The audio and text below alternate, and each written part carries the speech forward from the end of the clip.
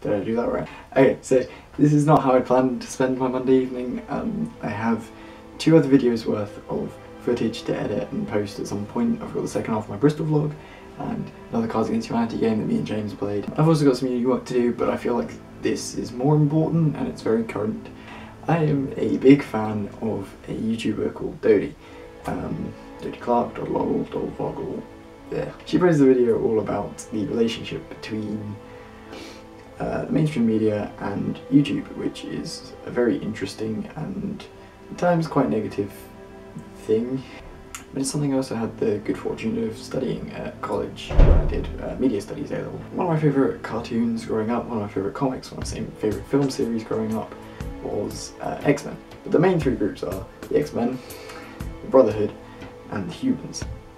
On the one hand, you've got the good YouTubers, who are the X-Men, and they're the people who Dodie, you know, name dropped in that video.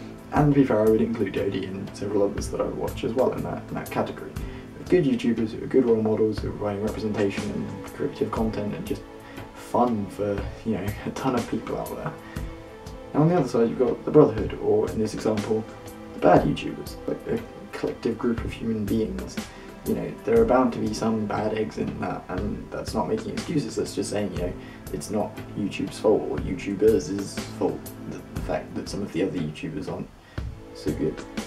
And these people can be compared to people in the mainstream media who also exploit their position or their power or their audience for whatever reason. One of the things that's commendable about the YouTube community that Dodie also talks about is the fact that when YouTubers do bad things, when bad YouTubers exist, you know, the rest of the community calls them out. You know, they, get named and shamed and dropped. A couple of years back, there was a guy called Jason, Viohni. More recently, there was obviously Sam Pepper as well, and large portions of the YouTube community sort of pointed at them as examples when their stories came out and said, hey, that's not us. That's not the YouTube community. That's not what we do.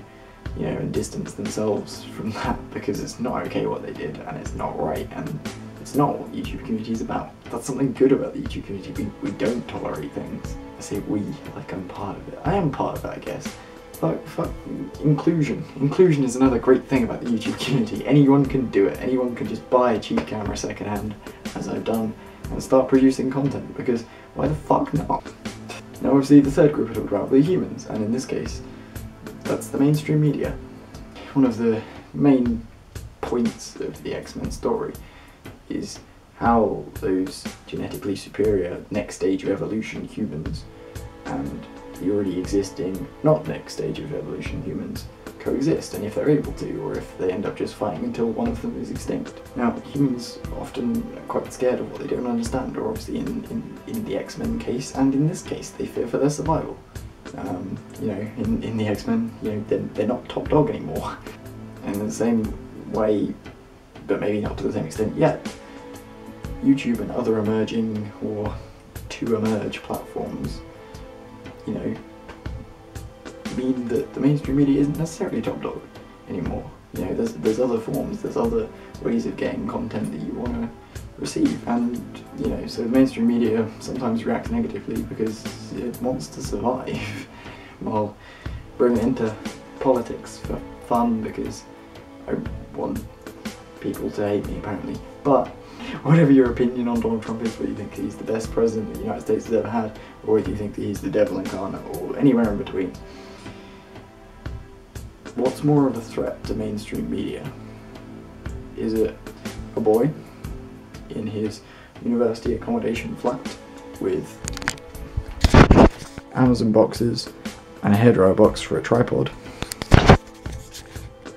Or is it the President of the United States calling out news corporations and television programs and other outlets of mainstream media fake news and just putting them down because he feels that his Twitter is better. It's just a thought.